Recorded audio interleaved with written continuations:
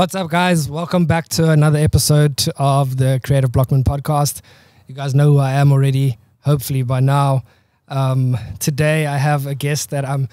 I always say this. I'm really excited to have on the podcast, but it's it's kind of true. Like I am always really excited, really like passionate about the guest that I have on the podcast. Very fortunate that, in in a sense, this the person that I have on today has made it's like one of those things where you meet somebody for like a short amount of time in your life and they make quite a big a- impact on your life.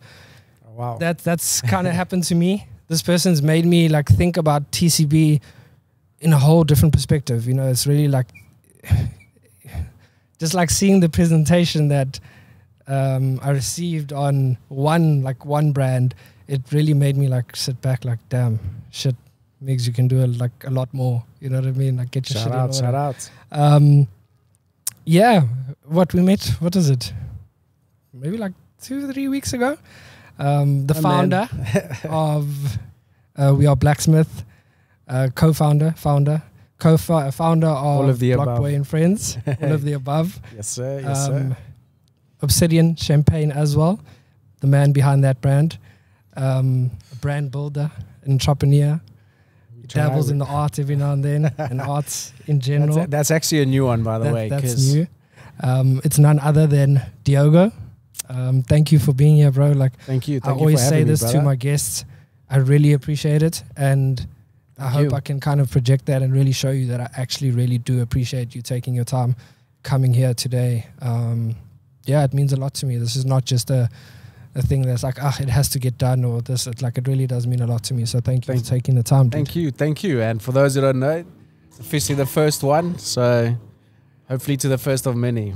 Definitely, So, yeah, yeah. no, definitely, dude. With the, with the stuff that you're doing, and like I said, with the whole presentation that you gave me on like Block Boy and Friends and stuff, and just the way you launched it, and it's inspiring. Like it really is inspiring to see that, you know, somebody can put so much passion and so much energy behind.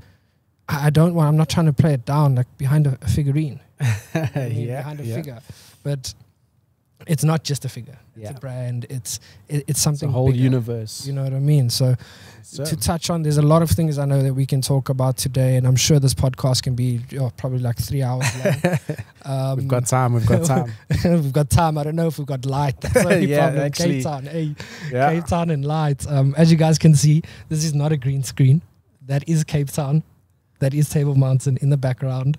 Um, it's it's important for us to also like, you know, try to be the most artistic. That's the way I'm I'm labeling this. I want to be the most artistic podcast in South Africa. Well played. Um, I think we definitely are onto something here. Set so- design by Yes. none other than the man himself, Diogo. Um, but let's get back to it. yes, sir. I, I want to yes, touch on Block Boy and Friends. How did that start? Why did that? You know, let's start with how. Um, how and why. So okay, so the how is in my line of work. Um, you know, always, I guess it's a form of natural resource. Always looking at you know up and coming artists, talent, so and so. And in this case, I came across C's page, um, and I saw a design of his. Um, particular design is called the Block Boy Demon Slayer, and it's you know taking. I love Japanese culture and just sort of discipline and mindset, I guess. Um, and it had, sort of had this anime style of an animated character. Hey, there's our birds. An Yep. animated character um, that he did in Japanese art style that was also street fashion and just like had this cool look to it. So literally DM'd him and I said, "What's up, my brother? How are you?" And I said, "Do you do prints?" And he was like, "No, I don't." And I just responded, "You do now." And it Mm. sort of started the conversation. Um, funny enough, I still don't have that print actually for myself, my, for myself, but we'll It will frame come. that very soon. Yeah. Um, and we just started the conversation that I was hosting an event, maybe about an hour, an hour, sorry, a month or two uh, after that encounter. And it was an event during COVID, actually, Mm. where we did this event as my business, a sort of a networking thing that we brought like minded people together, where it was everyone who's successful in their own right, not just my industry. I just went the people that I know. And you know, in COVID, we couldn't have the events and stuff. Yeah. So there's also me being a bit like we can make shit happen. Um, also, a lot of my clients and people needed an out, Yeah. so I literally just brought everyone into the same room. But the, the common denominator was everyone was successful who was there. So Mm. I had people like you know my boy Imraan Christian, one of the Mm. greatest Yeah, creators yeah. from you know If you don't displaying know his him, then right well, displaying his artworks that you know he was graceful to to allow us. And then I s- said to C, I was like, bro, I'm doing this event. I'd really like to put your stuff there. Come through. Um, we had Joey Rasdien was the MC. We had Jay Nice. something and the guys. Jay actually won the PS5 that we gave away. Literally when the PS5s dropped, yeah. Legend. We also like were able to secure some. So it was also part of that thing of like, you know, it was very negative and scary energy at the time that we like just wanted to show that there are still people who are doing it and are still positive. And it was just a, a place for inspiration, I guess. Mm. Um, and funny enough, Monkey 47, the gym Mhm. guys actually Yeah. came through the craziest, uh, yeah, little display. Anyways, the point is, after having that, uh, you know, see at the event, his stuff sold out immediately Nice, and it was almost like a aha moment that um, you know there's something special over here. And just how the universe works i happened Mm. to watch a show on netflix called you know the toys that made us. Very awesome show. Mm. because i've just you know growing up I, I love toys cartoons and all that. And i happened to watch the teenage mutant ninja turtles episode. And when you see that i realized wow we have our own teenage mutant ninja turtles yeah there's something here because I had seen, you know, like what C had created and what he was doing, and I was like, it it just it just made sense, and Yeah, everything just clicked in the moment. just clicked, yeah. and and you know the vision has it's been clear, you know, since day one type Mm. of vibe. So I think that's also an important part to you know possibly a question that's going to come up later that when something just makes sense in your head and you can see it, go for it. you got to keep Do going it. for it until you know Mm. you just make it happen, and that's Yeah. a beauty of what this brand has allowed me to is actually take something from a picture or concept to physical form yeah. into a business. Yeah, there Um, it is. Yes, sample over there. Um, and yeah, I mean, even with the merch, you know, dropping soon. Yes, just like the website, the online store. But um, yeah, stuff like that. It's just really taught me that, you know, as a brander or a marketer to a certain degree, you know, it's very strategic and conceptual. That has taught me that almost go the full circle of Mm. now we creating the story, telling the story, creating the product while handling the entrepreneurial retail side behind it. And Mm, mm. I don't know if you know it's not very often that you can do something and actually build something from scratch as well in Yeah. a day like today's day and age. Mm. Um, and then it just happens to be creative at the same time, you know, with the Yeah. art side, which I think is really what makes it really cool. So Yeah. yeah, I hope that answered the question. no, it does, and I, I want to go back a bit. I think it also it goes back to that whole thing of, you know, you have that gut feeling, just follow it, do it. You know, like it's maybe it's not exactly executed like perfectly right now, but if you keep on working and keep on pushing it, it's gonna get there. You know what I mean? Eventually, one way or another, it's gonna happen. You know, that's that's that's the thing. You've got to just keep pushing and keep. Yeah, bro, it. it's like like- like you said. Now you're dropping the site. You know, you've. I'm sure you've had issues along the. you see, like you know, you've had the issues and stuff like that. But now you can sit back and be like, oh shit, like we were saying earlier, like this is actually happening. Yeah, Like it's gonna be it live. really, really is a cartoon. So, you know, try to explain to someone, I make a cartoon. You're like, no, it's a lot bigger what than do you that. mean you But make yes. cartoons? Yeah, say that to your Portuguese granny. Ooh, yo, bro. Every, yo, let's not even. That's a whole nother conversation Right. now. right? Um, so uh, that's one thing that I, I've kind of, I personally have struggled with in the whole creative blockman, etc., etc. is kind of just balancing that whole creative side and entrepreneurial side. You know what I mean? Yeah, And yeah. the whole business and stuff like that. How like how have you approached that side of it? You know what I mean? so, like so I balancing because you can't just be creative. You know, you Yeah. can't just be creating, creating, creating. it's it's look it's very few people um, can be a bit of both Yeah. naturally in today's day and age given you know apps and online stores and you know all of the cool all of the tools that are available it has made it easier for creatives to have a bit of a you know the the business side and the and the balance but um I think at first you just got to be honest and that's what creativity teaches us as in Mm. be honest with yourself in terms of what am I good at and what am I not. Once you know that, then you also know, okay, cool. I want to be a full time creative, but what I, what like what I'm Mm. also bad at is what I need to focus on. Yeah. And certain things that you know, we call it the must haves or they have to be done. Got to focus on those things because at the end of the Mm. day, we all need to live. We all need to eat. Yeah. Um, and and you know, money or finances in what we do is essentially a tool And Yeah. for you to Mm. build and to do what you need, you you have to have that tool or that resource Of course. to be able to to you know also take your vision or your creativity you know and bring it to life and and, and expand that depending on how big you want to go you know Mm, mm, mm. but you know the, the the balance part is quite difficult um especially when it's being self-funded you yes, know that's that yeah. that plays a big role Trust me, I know. the other side is also you know as much as everyone wants to work with the big corporates and the cool stuff it's like you also need to be able to be geared to be able to handle working with them which Mm. means delayed payment terms you know those sort of things that really puts you under pressure Yeah, like you know course, living hand to mouth or month to month and Yeah. you know takes people and especially in the creative side a long time to get out of that or to forecast for that you know Yeah. so with the honesty and you know all of those things also try keep and be realistic you're not Mm. gonna you know go from zero to a million overnight like you Yeah, know some, some you can steps. don't get me wrong but Mm. like just be a bit realistic um, Mm.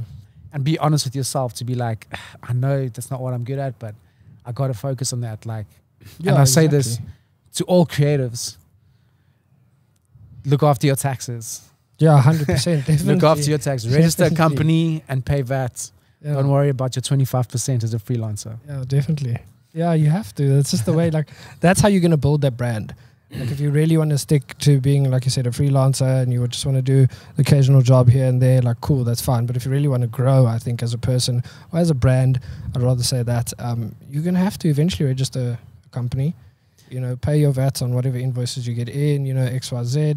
Um, you know, if, if it's, I think also if you're not good at that, then you also need to understand, like, okay, maybe I need to branch out and ask somebody that is good at that. So I can 100%. keep creating, and then this person can help me with that. even with like like I was saying earlier with the honesty side then Mm. you know it, when you eventually get to a point of yes you can afford Mm. and you know these services are very very affordable in today's day and age and Yeah, you know with with all of these apps so I was about to, I was literally about to say that. I'm sure there's an app that you can just definitely You know what I definitely mean? you know pay so a subscription every month and they'll do it. yeah and and we are living in a digital ecosystem right now and you know economy so guys most things can essentially be done and especially you know as a as an individual or someone who has a big vision in mind Mm. you know um, like in this case you know you're trying to be a bit more of a, of a platform Mm. Definitely it's, it's it's like to keep that balance that you were speaking about just do also Yeah. very often we like oh i don't know if it's ready or good enough to go should we do it should I not do it Mm. the beauty of this thing is there's no right or wrong way Yeah. it's just about you know you never know how you're going to connect with an audience or with a something Yeah. Of or course. in a case like this i mean what you say three weeks kind of feels like it's been longer but the It point does. is yeah, that's true. it's also natural integration and i believe it's going to go even bigger now a lot quicker Mm. but it's also because you, you just did Yeah. you know? so Yeah, you also just have to put yourself out there. You know what I mean? Like you've got to, you've got to be creating and just putting it out there. Like it's, you know, Yeah. if you create and just, it can sit on a SD card for ten months. That's not going to help you. yeah You know what I mean? It's not going to help you. You've got to put it out there. It's really that simple. You know.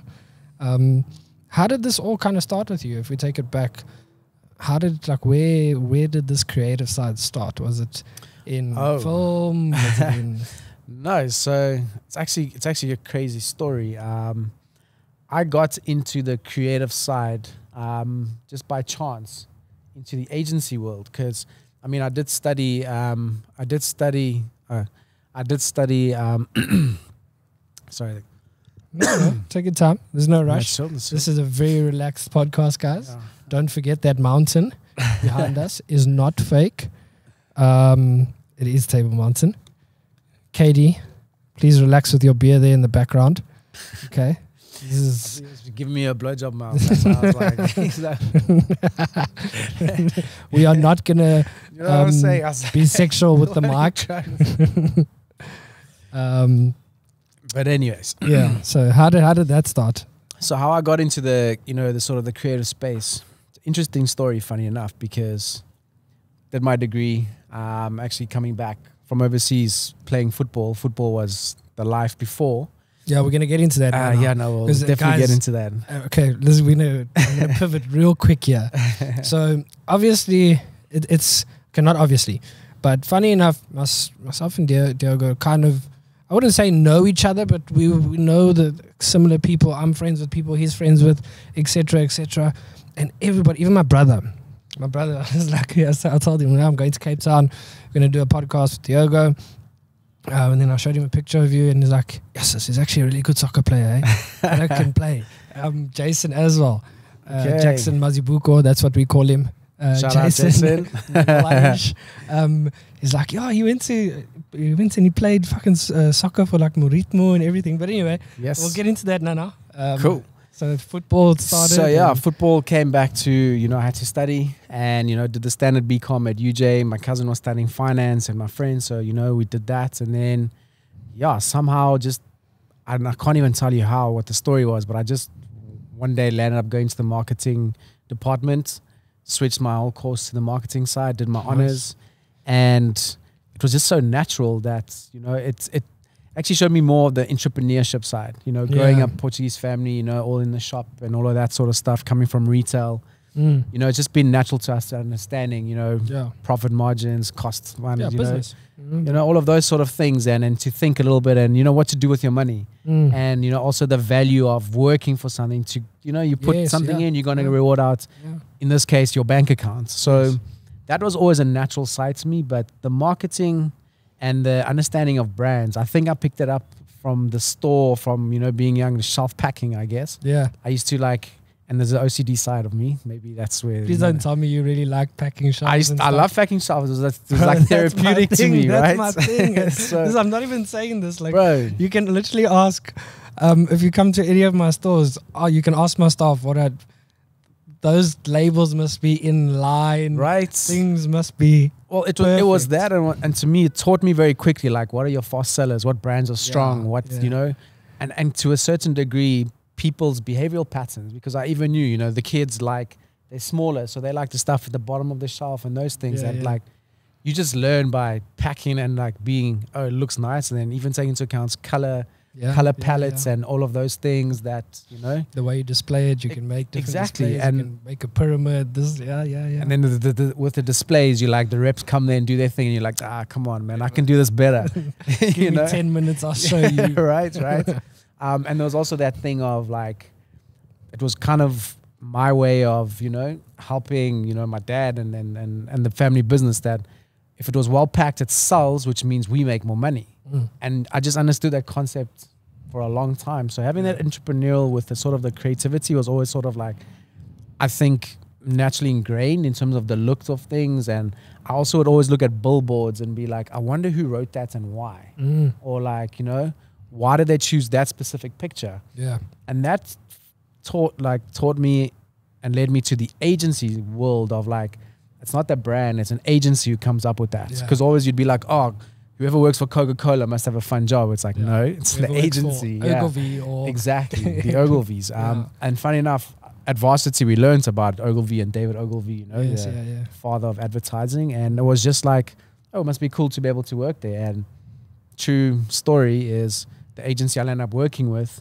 and even that story is crazy. Of you know, one of my friends, he's one of my best friends right now, um, but there was a job for a project manager at Ogilvy, one Oh, of nice. these short-term Yeah. one month, possibly three month stints. And I was, you know, I'd finished, got my honors at, at, at UJ, didn't realize, you know, how well it actually was preparing me. Was working for 3Ms on a grad program, became a permanent after six months. And then this just out of nowhere, this project manager opportunity came up at Ogilvy. And at the time, shame, I was earning nothing, you know, it was quite funny. Yeah. I, You I think still have that paycheck. like, yeah Shit. couldn't even afford my rent. That's how well I was being paid. But anyways, you know, we had we had a vision. Ogilvy. no, no, I wasn't Ogilvy yet. Ah, Ogilvy was almost a savior because Ah, okay. from the grad program at 3M, um, I was gonna get paid almost double. okay, so I was really like, wow. Then I was like, yes, I have rent and groceries. sorted for them. But that's We're it. living now. no petrol, no petrol. Ah, I'll make a plan. Parents, no, parents are still like, I We'll remember because you know they didn't really understand at the time because of the family business. So uh, being the first one who went out, it was that. Are you sure you're doing the right thing at varsity? Because you can't even afford your own things, but you're like, where to? You know, this is Yeah. their way of supporting, I guess. Mm. Um, but but yeah, like so having that that creative flair and going to an agency, landing up being Ogilvy that one month became three months, which actually became nearly four years of, of working there. Just opened my mind up to a whole other side of almost like the strategy behind creativity. Mm. Yeah, yeah. And when you have that insight, understand how they deconstruct brands, what brands stand for, the narratives, and all of that, you almost like upskill yourself in business because naturally at heart you're always thinking, but how do I sell, or how can I sell, Mm. or you know how can I remunerate from, Yeah.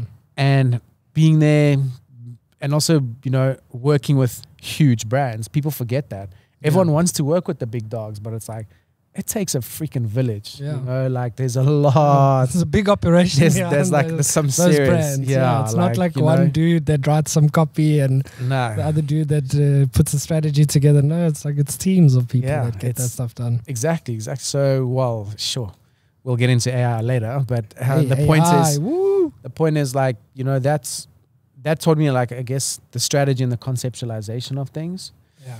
and um, yeah, I eventually got to the point of wanted to start my own business. You know, I think the entrepreneurial and the retail side sort of came out. That was natural. Uh, yeah, I was about to say that was that was like a natural progression. It was going to happen, I think, regardless. Eventually, Yeah, Um, it, from your family background, business. You know, I think it was there, but it was in you. I Regardless. won't lie. It was also there's, you. You got to have a bit of applied pressure sometimes to to 100%, make a decision because I'm also like I was 25 at the time, and it's like okay, cool. If I was in the family business, I could have most probably had a house. Mm, car, this, you know? yeah. Over here, I'm still living month to month, freaking, you know, all of these like yeah, it's cool. I'm in Joburg, but is it like, is it feasible? Because we also have to grow up and we also have to be Yeah, like, you know, do you want a family? Do you want the things that you know you can get just by Mm.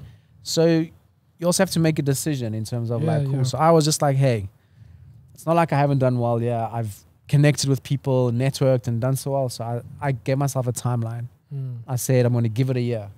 Then at least I can say I tried, whatever, you know, close Yeah. the book, fine.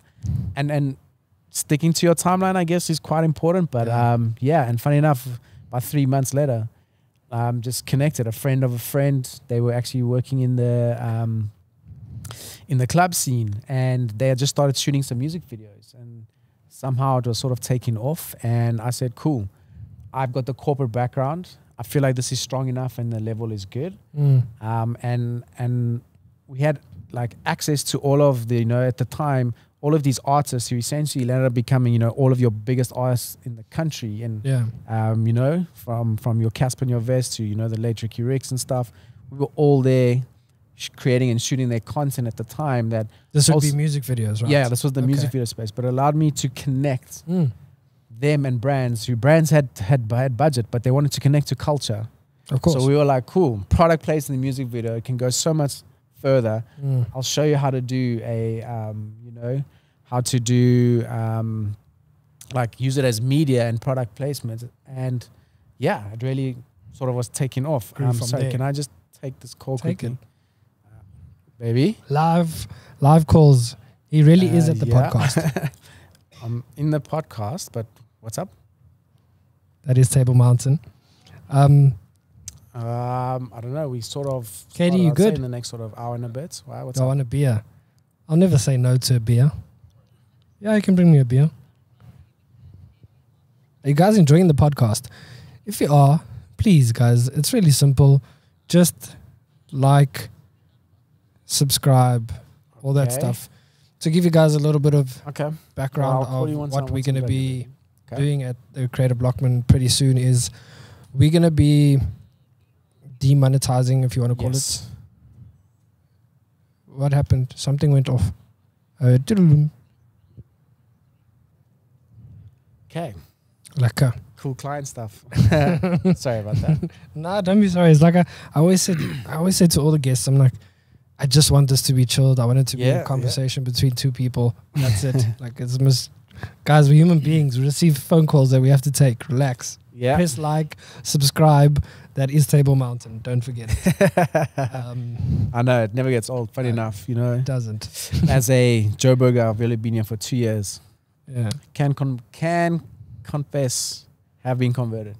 Nice. Can confess it. Yeah, Yeah, Cape Town has that thing, dude. it's that spiritual creativity. That's what I call it. Yeah. Um, it really has that vibe on you. you no, know? it does. Yeah, hundred So You And can yeah. see it, like, and you can feel it as well. Definitely feel in it. Can definitely the, feel the, it. The best advertising schools.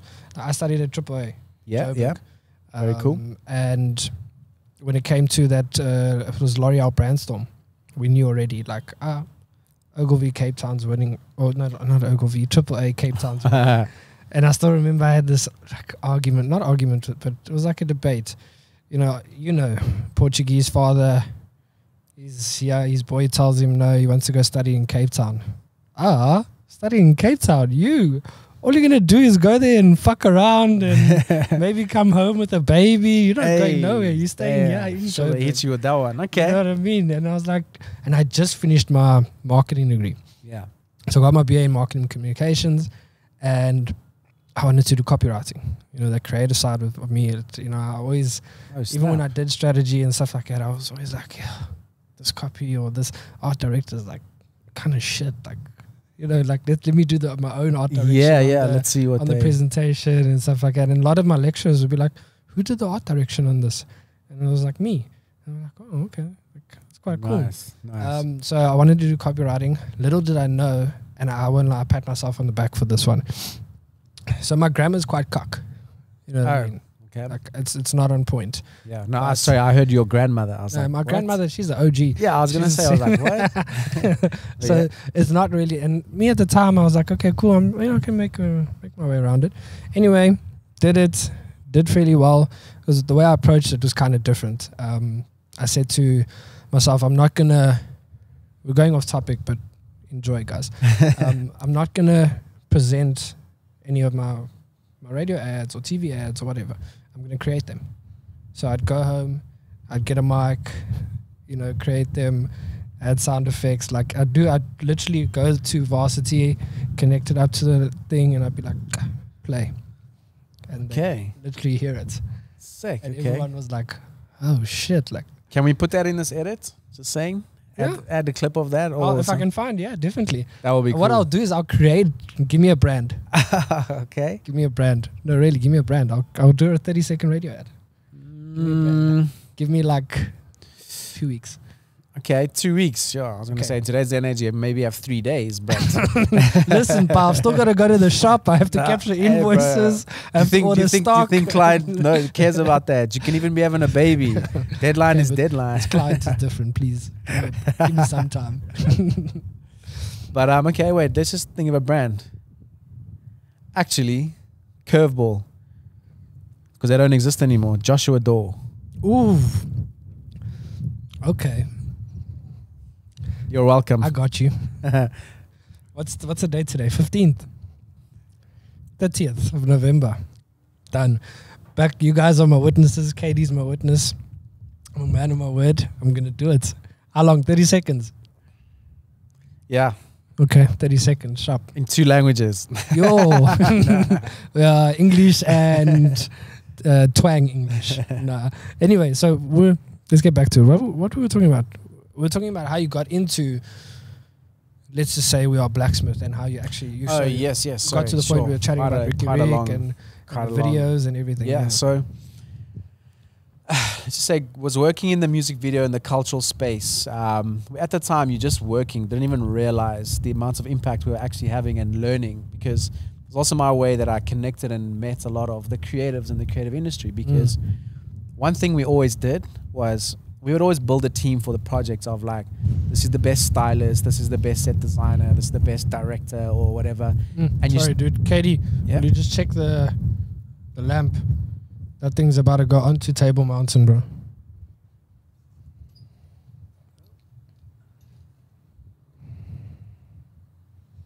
Just the wind. I'm worried about it. I don't want to break shit. My deposit. Deposits. No, I didn't. Oh. Shout out Airbnb. I don't, is it affecting? No, I'm just worried that it falls over. But anyway, yeah, ooh. Everything is moving now. Cape Town, this is Cape Town for you guys. The joys of shooting in Cape Town. You think everything's gonna be great. The sun is out. Wind- wind Next thing, it's Should we take it away? yeah, take it away, dude. Um, next thing, clouds come in. There's sirens for tsunamis going off. Preparing the preparing the bomb shelters. gonna have a family meeting now. Now. okay, back at it. Let's do this. Hopefully with the win. Yeah. Anyways, I think to cut a long story short is a lot of it was natural progression that from my agency days at working at Ogilvy, I the entrepreneurial side had come out and I decided I needed to go independent. Got involved in a production company, you know, where we was predominantly shooting the music videos. And it was my way of I always found that there was a bridge between creative artists and talent um, and and brands. Like almost, I wanted us to be the bridge, or wanted us to have the reputation of being known as the guys, as Mhm. we can bring you brands. Mm. We still this day we we still hold the brands. reputation. Yeah, like I get calls all the time.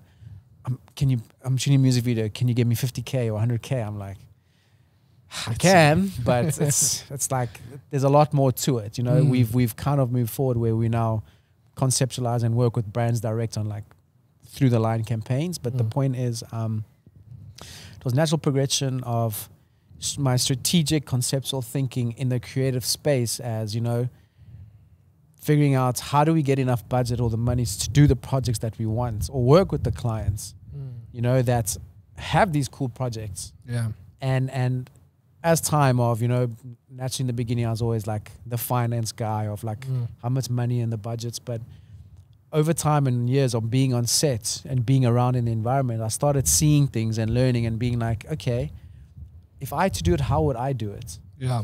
and yeah one one day i just said let me give myself the opportunity so i said i've built this business have a reputation let me just test it and it was a revlon funny enough a revlon Nice. ad a small one in a studio that i was like and i spoke to you know my business partner at the time of um in, in in the creative space i was like let me just do the treatment of what i know let me Yeah. try it i'll present to clients and all of that did that and client was like this is exactly what I was thinking. And we went, we shot it, and I was like, oh, this was actually quite easy and quite, quite effortless and natural, you know. Mm. Um, and ever since then, yeah, the creativity side has really, really like kicked off. Um, and and and here we are. And that's what you could say is kind of the inception of We Are Blacksmith Yeah, in a sense. um, Yeah. totally, totally. Like Okay. it was also it was also a means of you know as a network based enterprise, we wanted to be a platform for all creatives to come together. Mm. um, because we really are about you know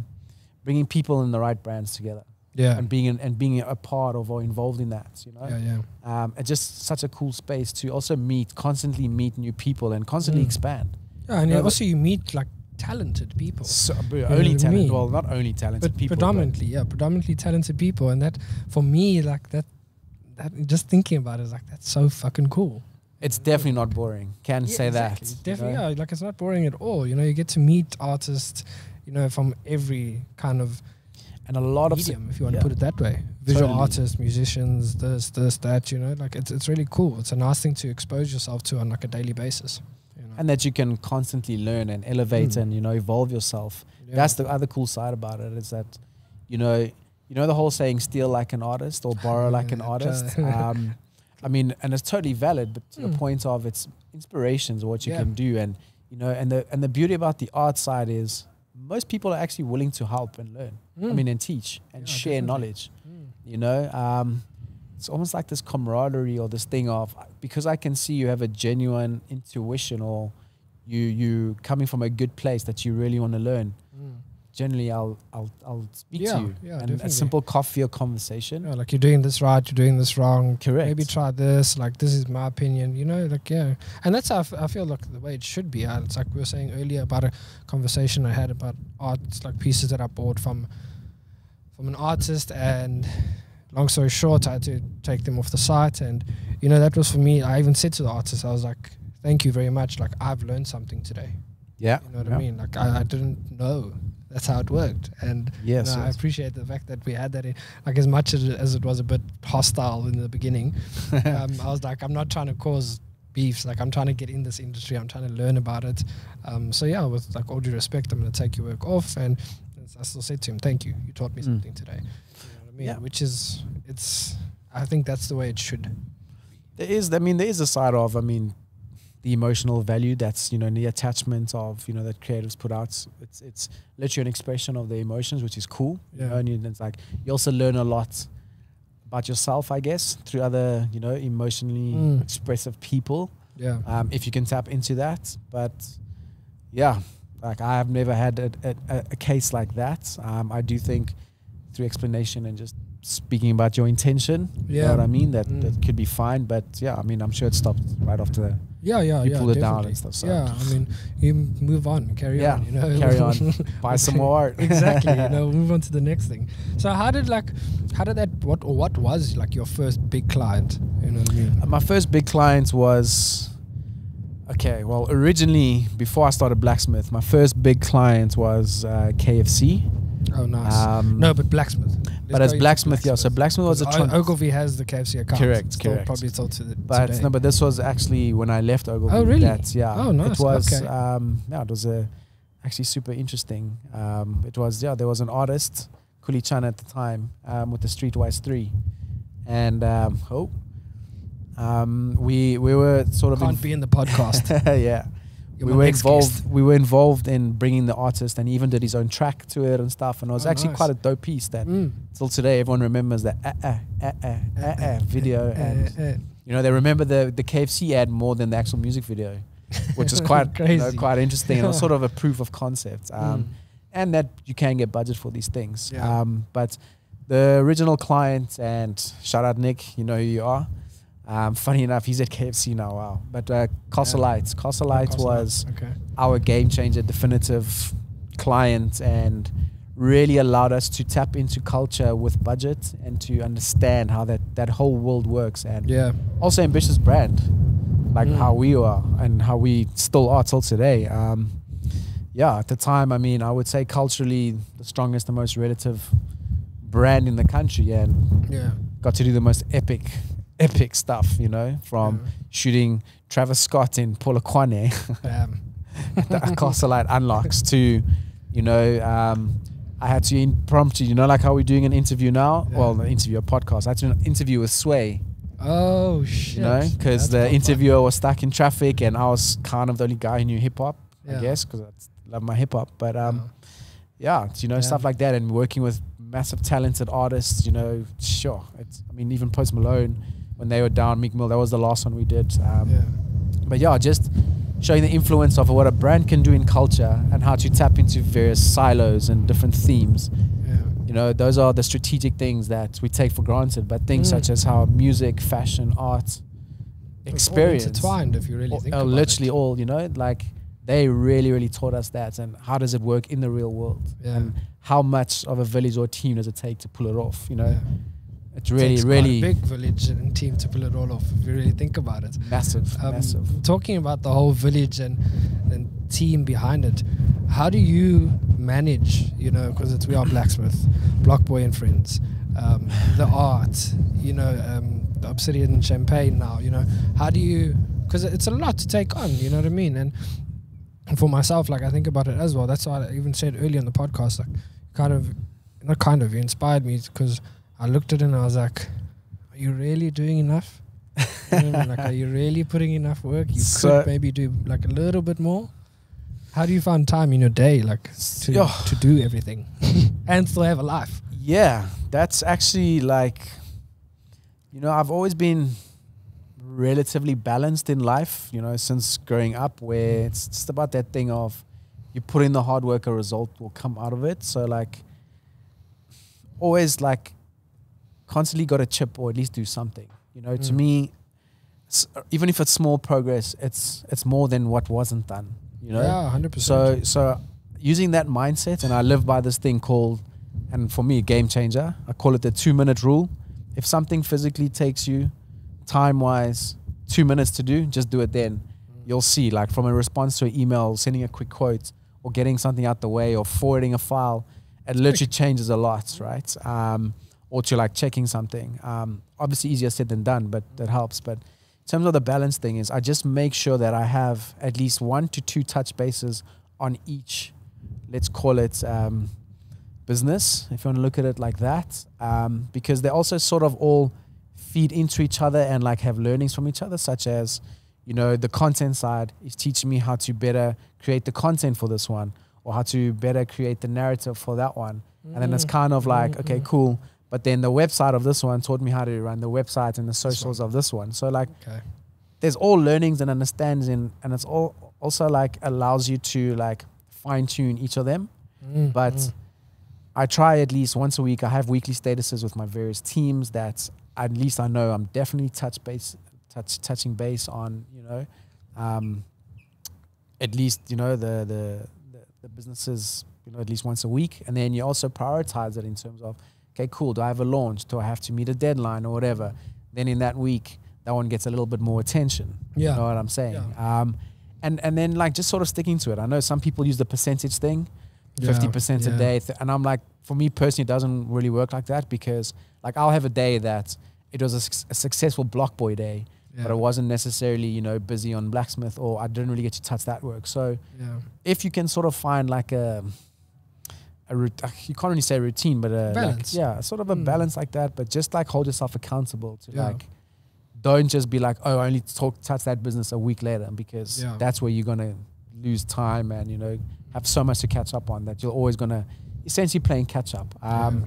So there's that, and then the other way of keeping balance, funny enough, is you have to force certain things. Mm. And something that I've really been since moving to Cape Town is I don't compromise on if I need to go for a run or I need to do something of physical activity Gonna it. or just to go get a coffee or to just go, you know, just do something for yourself.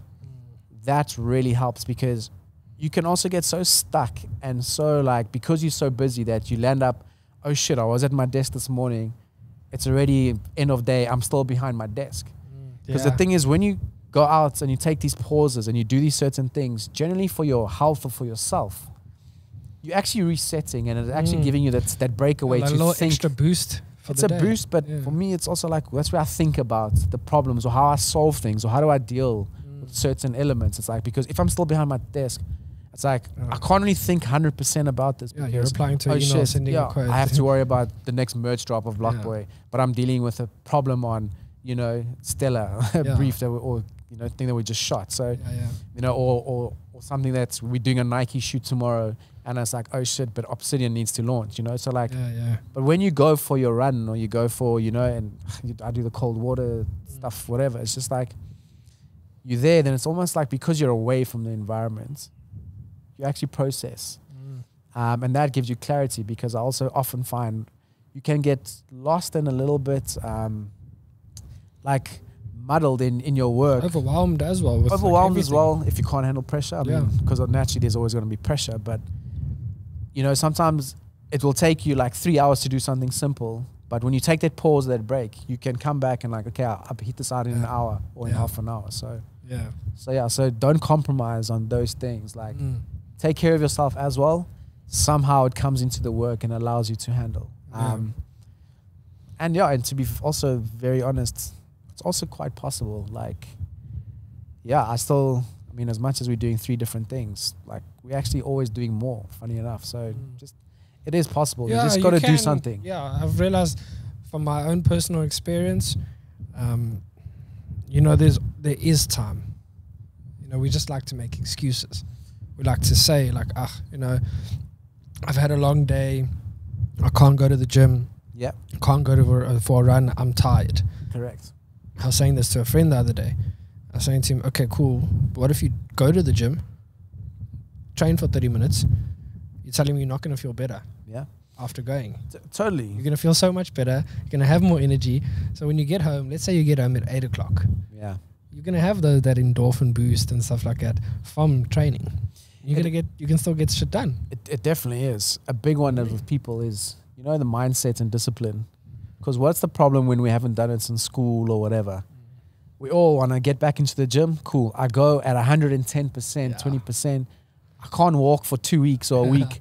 Obviously, I'm not going to get back into it. Yeah, of course. You know what I mean? And that's the, that's the biggest issue that we do. go deadlift 200 kilos right on my back. first time. Now, if I can pull my back or some shit, and then it's like no, or I injure myself. One hundred percent. It's like it really is that thing of discipline of like just do a little bit, little bit. You get stronger, you get going. Like you know, you're not going to run a marathon on your first Yeah. time, but 100%. get your one k out the way, then your Mm. three, then your five, then Yeah. your ten. exactly. You're not gonna go from zero to ten of your first one. Obviously, your 100%. body's gonna be like, "What? Yeah, what's You're going gonna on? Panic and shut down. Yeah, yeah, and it also So- goes back to like I said it earlier with the whole creative blockman thing. Don't put pressure on it. yes, Just do it. Correct. You know what I mean? Don't put pressure on it. Don't be like, I haven't done this. I haven't gone to gym. I haven't gone. To, just go. Mm. So you know you haven't gone to gym. Cool. We've cleared that out the way. Just go. Yeah, I mean, you haven't worked on Blockboy or whatever or on Valpray or whatever. Just do it then. yeah, and also like. Be smart with it. Like, Mm. do you know how many times? And I love it actually. I'll go to like my gym session and stuff, between eleven and one during the day. Mm. Like, I don't have meetings or I have my meetings in the morning. Take that time. You know, we all worry and eat lunch behind our desks or whatever. I mean, corporate life or wherever, or living in the shop. It's like, hey, it's my lunch time or whatever. But trust me, that that's you know, I call it the sneaky middle day sesh. Actually goes a long way. Or 100%. because it's that thing again. Like, if you look at the numbers in over a year, those little half an hours here or that little hour in that middle of the day, it's gonna have Adds up to a month. exactly. It's gonna have a much bigger effect and impact. 100%. Um, so yeah, very important, I think. One thing I want to touch back on um, yes. is the soccer. How did that, you know, oh, that was the big passion and that was the Yes. dream. Um, how did that go? I heard that you went, I think you played for Maritimo, No, wasn't no, it? Nacional, Nacional. Nacional. Yeah, we don't like okay. Maritimo, just putting it out there. They're the rivals. National, oh, God, it's, it's, in, it's the one in Choupana, Madeira, Choupana, right yes, at the, the one in the mountain. oh, guys, you Yes. must see the stadium. Yeah, It is insane. It's literally in a mountain. Like, it is in the mountain, and sometimes when the you know the fog, or they call it the nevoedo, Yeah. comes over, you can't even see the other side of the pitch. Mm. So there was times that like, we, like obviously as kids, they'd make us train. We like can't even see my mates, and we'd run, like guys would literally run into each other. Like, they're in the mountains. Um, How was that for you? Like, uh, like what age were you awesome. there? So 17 till just before my 21st. So three, just under three and a half years. Um, was amazing. Like if I look at you know the chapter, a chapter in the book of my life, Mm. definitely is a chapter on its own and very big and important. You know, like yeah, like learning as you know left home. I was sort of now alone back in Madeira on the island. You know. Um, and and I would say in the well, I was in Funchal, luckily. You know, in the, yeah, I mean that's where the team is and stuff. But I guess the point of like you have to grow up very quickly. You're alone. You're there. Uh, obviously, you have like your family and stuff. But you know, I was not with Yeah, my actual alone. parents and stuff. Um, and also, you know, I'm, I'm I, was actually I'm South African Portuguese, Mm. so it's like I am the the tourist there or Yeah. the stranger there. Yeah. So in the You're beginning, not the local. yeah, definitely not the local. Although, like, because I was born there, I always felt like it. But yeah. Anyways, the point is, it was an amazing experience in terms of like I can say I had the taste of what it means to be a professional footballer, which was a dream in its own right. And at the time, I didn't get it, but you know, I Mm. I tore my groin, had an injury, which funny enough jeez. was was strange because I'd never had any injuries before. But Mm. if I have to look at it now and I look at the learning, it's it's just it wasn't my path Yeah. and what, where it was meant to be. But I can say, you know, I got to experience it, and I'm a very present person. So when Mm. I was there at the time, I mean, yeah, guys, I got to meet and play football with some legends, some amazing people. That like Yeah. it also showed me how small the world is. Oh know? yeah, definitely. Um, and and and and like, yeah, it's crazy. I mean, I'll tell you a story of when you start playing well. Because I was in the juniors team, you know, they take you to the first team. So started playing with the first team, you know, going to trainings and stuff. And at the time, the goalkeeper was, funny enough, Diego Benaglio, who's the Swiss national goalkeeper, Damn. right? And then there was Hilario also, who was there, who was he went to Chelsea Yeah. you know, when Mourinho Yeah, went yeah. at that time. But at the time, Benaglio was the main goalkeeper, whatever. And training with the side, we're playing, you know, friendly games, and like it's like my second or third training, play the game. Uh, training with them, and in that game, I scored two goals against them, and like you know, the captain of the team was this badass dude from Argentina. I'll never forget. Also, like skilled him and stuff, and it was just like, you know, you really think to yourself like, wow, I've got this. I'm this 18 year old kid, and like, you know, I'm Yeah. about to be freaking Ronaldo, you know? I'm and Ronaldo. yeah, no, for real. I mean, and he was from Nacional, obviously. Yeah, exactly. So, so it was like, score the goals. Like, you know, mindset is is all over. Like, is like so inspired, so like, you know, this rush. And that weekend, it's uh, international qualifiers for the Euros or for the World Cup. I think. I think it was Euros, and England versus um, Switzerland. Ooh. And there goes Beckham goes scores a penalty against Benaglio, and I'm like, Beckham only scored one. I scored two. no, but the point I was just like, wow, this is like something really that like Mm. it's like you're there. you know, you're sort of there. And you know, the time that FC Porto came down to play at Choupana, and obviously it's our stadium. We were there, but I'm in the locker room, and it's like you know, I got to meet Quaresma, I got to meet Pepe, Yeah. uh, Vitor Yeah. Baía when he was coming out. Was still the goalkeeper there, and you're like. What, You what's fine. I was just on? one of the subs on the bench, but the point was just Yeah, like, wow, matter. this is like icons that, you know, they they Yeah, you greeting you. to them. Exactly, they're greeting you in the tunnel, and like you know, everyone's obviously in their the fucking ski pants and shit because after the game, and you're like, what? Like this just happened. So Yeah, that's crazy. you know, I can say it was definitely there, and you know, I got to experience it nearly the highest I could have, I Yeah. guess. Um, and yeah, I, I mean, it was everything, and Mm. it taught me a very important lesson in life at the time, where, because obviously once I had my injury and I wasn't a part of it, you know, went through a bit of a downer, and you know, you Yeah, question naturally. God and stuff, and like, Oh, why why? me, and you know, but it just you know took me a while afterwards to learn that it wasn't my path Mm, because yeah, definitely. and this is another crazy story. How I knew film was my path was our first big, I don't like to say this, but our first big over half a million rand campaign, Mm. like the expensive one, yeah. was with the SABC who were doing the Carling uh, label black, uh, Carling Black Label Black Cup Label Cup. Yeah. which is Chiefs versus Pirates, and they needed to do the commercial for it. And at the time, you know, funny enough, Steve Komphela, who used to be my coach back in the day, had just been signed for Chiefs. And I actually played football with, you know, he's the marketing director. I'm not going to say his name of um, Orlando Pirates right now, but also a good friend of mine. And, you know, brands were trying to get the job, were trying to, you know, when it was coming up, and it was a bit of a pitch thing. And because I knew the coaches and, you know, the, the guys from my football days on both sides, Mm. I was able to make some calls and we got on in front of them, whatever, and we won the pitch and so and so. And the day of shooting and at set is we shot at FNB Stadium. Mm, mm. And as a football player, I never got to walk onto the pitch or pl- as a player, Yeah. you know. But that morning, I'll never forget. It's like five in the morning or half past five. I'm walking out the tunnel to go. You know, we're about to start set call Yeah. time. Fucking, you know, missed on the like a real Yeah. yeah. surreal moment and I walked onto it and I was like, okay, so I guess I was supposed to walk on here as a, I guess, filmmaker or Yeah. you know, A creative. as a creative, Yeah. and and that's when it when it hit me that hit. you know what, Yeah. football has a place. Until today, it's still a thing in, in in your life, but it wasn't meant to be. It wasn't the thing.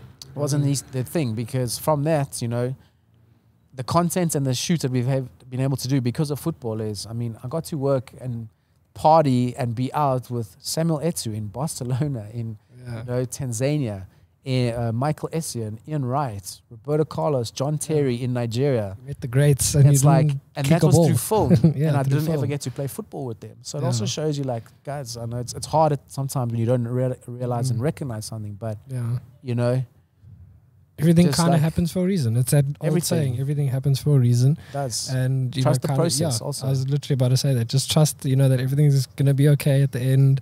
Believe in yourself. Keep working just as hard as what you did in football uh, with everything else. yeah, and Uh, and and sports also teaches you some great things: Mm, discipline. discipline, teamwork, also pressure. People Mm. underestimate, you know, pressure of you got to go score the winning goal Yeah. or the penalty when it's one-one and it's for the final. So you know. What are you What are you going through? There? It's pressure, it's and I've. I've been that guy. I've I've won and I've also missed before. So Oh, just saying, course, it's like, definitely, definitely. and then also how to bounce back from Yeah. when we're going through a Mm. dipper. yep. That's a big one that sport also can teach you. you yeah, know? So, definitely. Now, yeah. uh, kind of like a deep question, but I like asking this, um, both in terms of like business and your like you personally. yes. How do you define like success? Success. Yeah. So okay, so in terms of business, obviously you can see like um, how you've taken something and managed to like have grown something or the impact a business has had. You Mm-hmm. know, that's that for me is definitely you know from going from one store to like you know I know stories of three stores to a hundred stores nationwide, Yeah. or or like the specific brand or your specific business has like really helped transform a community or change a community. You know, especially in the art space, you get a lot of Yeah. you know, anchor. I call them anchor sort of, um, sure, like platforms within communities that you know, be it a art gallery space or or a local gym or something like. Mm. There's a lot of that that that that, that is out there. Yeah. And then in terms of personal success is, you know, being the best version of yourself. You know, there's that saying, real recognizes real. Mm. And I feel like r- real, honest people can also feel and sense the energies around and, and, and can also, you know, sense that, okay, this person is special in their own right. Yeah. Um, and to me, that is a definition of success of you're constantly and willing, willing Yeah. to evolve and to and to you know let go of your ego and constantly adapt to better yourself because we have to constantly learn. As much as we are the best at what we do at a certain level, you can You always, can always learn. do you know what I'm saying? You can, always, always keep going or learn something else. Like Always. you know, Can like always better yourself. Exactly. Like very few, I believe, very few people start new hobbies. We sort Mm. of like, okay, cool. This is my career. I'm a lawyer, an accountant, a, an artist, Yeah. And, I just get me. and then I just get better at doing that. Which Yeah. I mean, it's cool, but you can also like get better at doing yourself. other things and constantly elevating. So I think to me, that is a definition of success and um, a person who's also just respectful. I Mm. think that's Yeah. that's that, that that's a big one. Like because you get given success, you get luck success. I guess you get the Yeah, hard work success, um, but it's also in the way that you project your success and also you handle yourself as a person. Yeah, because I mean, you just don't have to be an asshole. Yeah, like, you 100. know? Hundred percent. Like, I've always had this saying, like, not really a saying, but it's, you know, a life motto. Yeah, it's like I, I always say to myself, like, okay, I get sick, you get sick, right? Um, if you get cut, you're gonna bleed. If I get cut, guess what? I'm gonna bleed. Yeah. Cool. So it goes down to all those basic things. We're all the same, pretty much. The way I'll treat the same way I'll treat a guy that's pushing a trolley. You know, it's, it's the same thing. We're all human beings, regardless of anything else. We're all human beings, and we all deserve a little bit of respect, at least. You know Yeah, I mean? no, re- as re- simple as respect costs nothing. Costs Yeah, nothing. it literally dude. does. Yeah. And to your point, Yeah. anyone. I mean, it's it's quite funny. Like people will remember two things: the respectful guy and the asshole. Hundred percent. And- Hundred percent. I'd rather be the out of fifty. Definitely. um, and I'd love to carry on, but we're gonna have to wrap up fairly soon. I have one. Well, Katie had a question. Yes. Um, any advice for the youth yeah. and Mandem? and Mandem. exactly how you would. All right, fam. Um, young fams. Are you mad, bruv? yeah. Are you mad? Isn't it? Um, advice is, you know, I I I like to say the progress thing and the never giving up of like, trust me, you, life is going to challenge you. Um, people are going to challenge you. There's always going to be the non-believers, and the sad reality is that it's always going to be harder than easier. So- oh, if you you know just keep chipping away and believe in yourself and like you got to back yourself mm, I love. I, I love you that know you what i'm just said saying that if like because if you don't back yourself the sad reality from Yeah. your family to your business partner to sometimes even your your partner your wife Yeah. or your your person like there'll be times where they'll even challenge you the most and question you the most and you're like you always got to back yourself um, and just constantly keep chipping away and, and, and never give up because you know that like they say if you never give up it's going to force some result and that's better than nothing so hundred percent. you know just keep doing it and then also just be willing to learn Yeah. um, and even when you get your success just always watch the ego because ego and success tend to grow together Mm, mm. just always keep an eye on that one that you don't want it to get too much to a point because we've all been at the point of oh i'm top of the world Yeah. i know I everyone i'm that guy i'm the i'm the you know i know this celebrity or this model and, and like and it's cool Yeah. but But in um the bigger picture, yeah just just just keep an eye on the ego and i think you should you should be fine but other than that also like if you're like me that you like uh you don't like it when people say no it can't be done like yeah, fuck it yeah let's- it let's- can be let's- done. What do you mean it can't be no, done? let's let's tell me it can't know, be done. at least i tried my best but Hundred yeah. percent. Um, where can we find you? Social media. Oh, snap that. Um, yeah, so on, on my socials, um, so it's at Diogo808. Um, I'm not gangster or anything, just 8 is my number. Um, and 88 wasn't available, so I went 808 till I realized. I thought that that was a hip hop turn. there is that too. There's an 808 and the, you know, and the go wrong with drums the and, good and old the, and the 808s. bass and the 808s. um, I know sometimes people assume I'm a sound Yeah, producer, producer, yeah. but but yeah, no, just pure eight. Um, Yeah. It's my my number, okay. infinity, all of that. Cool. And yeah, 808, guys. Diogo 808. Um, and yeah, please check out at Blockboy and Friends or N Friends. Um, yeah, I'm going to be doing some interesting stuff. Definitely. I'm looking forward to it. It's So, going to be really cool. Um, again, thank you so much for just taking the time, dude. Like, I Oh, really thank do you for having appreciate me. it. Um, Katie, if you could be so kind and please get Diogo's gift. It's in my. oh, backpack. wow, there's gifts. I told you, you thought I was joking. I really do have a gift for you. nice, nice. Um, no, no, the backpack, the Basquiat one. Uh, I think it's in the room there. Um, yeah, it's like uh, like I said to you earlier. This is really something I'm passionate about. Yeah. it's not just a podcast. It's it's an opportunity for me to get to connect with people that inspire Yes. me. and you, You know, get to connect with people that I, I look up to. You know, um, and I'm passionate about this. I really do enjoy, like I enjoy doing this. yeah, Um, I enjoy being creative, and this is a simple thing for me. Like, it gets Oh, wow. I get to express myself creatively by yes. Offering you this gift. So Thank you, my brother. there wow. you go, dude. I hope you like it. The packaging Um, is. I, I've got to open it. No, of For the course, cameras. definitely. Please open it. 100%. Um, you can put the mic down. Don't stress. Um, so yeah, this is just a little something. It it was meant to be actually foiled, but the foiling machine uh, issues, blah blah blah, all that stuff. I was meant to have a handwritten card so you can flip it over. Um, so yeah, just a little something. Maybe put it in your office That's one day. fucking I don't cool. know. Hopefully you like it. I was meant to have a card as well, but then No, again, bro, this is. Yeah. First official podcast. This is Nice. definitely going on the stand. Yeah, so I, I didn't very, want to put very all of them. That's why you'll see.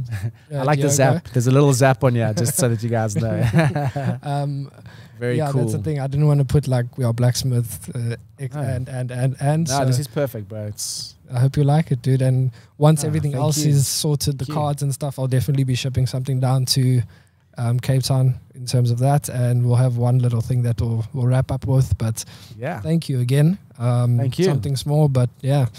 And Shout as I always do, thank you guys. Thank you very much for just watching. And if you've stayed this far, like I really do, like appreciate it.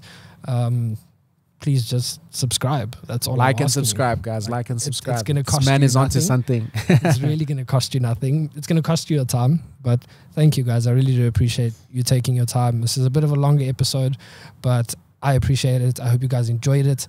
I had a good time. Um, Cape Town is starting to get a bit dark. I think we're going to go have a good time now. yeah. Peace, guys. Thank you. Ciao. Thank you. Much love. Thank you, brother. That good. Ciao. dude. Thank you. Thanks. That good.